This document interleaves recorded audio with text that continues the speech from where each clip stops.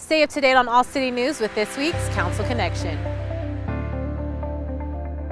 On September 20th, the Mesquite City Council passed a resolution naming the future park on Emporium Square in honor of Mike Anderson, who served as mayor from 1997 to 2007. Mike Anderson Park will include a soccer field, cricket field, and volleyball fields.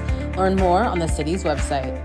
The city of Mesquite has started a meter conversion project for all of its residential and commercial water utility customers. With this water meter project, customers will have access to more frequent detailed information about water consumption, enabling them to have better control over their water usage and monthly bills. You can watch the full video explaining the project on the city's website at citymesquite.com slash water meter project.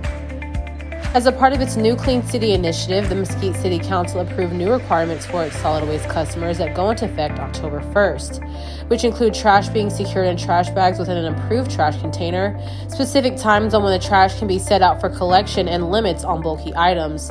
Please visit citymesquite.com slash solid waste for more information.